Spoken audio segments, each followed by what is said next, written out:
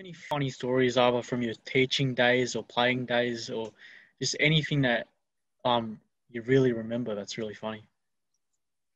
Um, well, I don't, I don't know how funny this is, but um, my very first game of football, I didn't wear a mouth guard and I got my front tooth knocked out.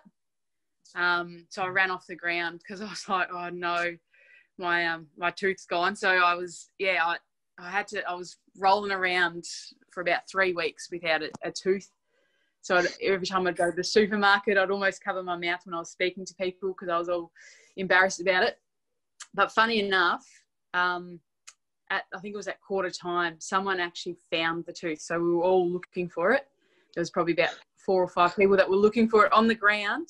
I don't know how they found it, but um, sure enough, they found found the tooth. So um, yeah, I fair to say it's not my original tooth in there now. It's a falsie.